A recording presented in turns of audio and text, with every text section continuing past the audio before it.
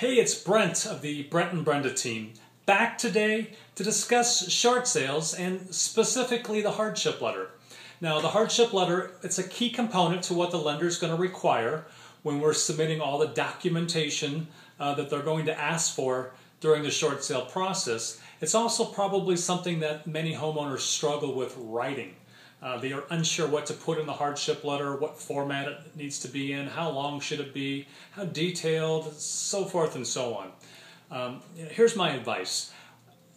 Really just stick to the facts. You know, if you've had any sort of a hardship uh, that's causing you to ask for a short sale, you know, be it death in the family, divorce, uh, job loss, a job transfer, uh, a change in career, a reduction in your hours, a reduction in your pay, whatever it may be. There's a whole host of reasons.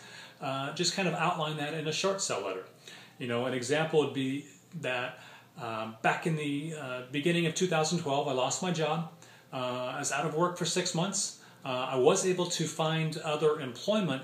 However, it's at a significantly, significantly less amount than what I'm used to making. Uh, I, therefore, I've been unable to maintain my house payments. Uh, I'd like to avoid foreclosure. I'd ask that you consider a short sale. Uh, nothing really more than that is necessary when you're actually doing the letter. Uh, stick to the facts, keep it brief, maybe you know six, eight uh, sentences, a paragraph or two at the most, and, and that's probably your best bet uh, for keeping the file moving along. So um, I hope you found this helpful.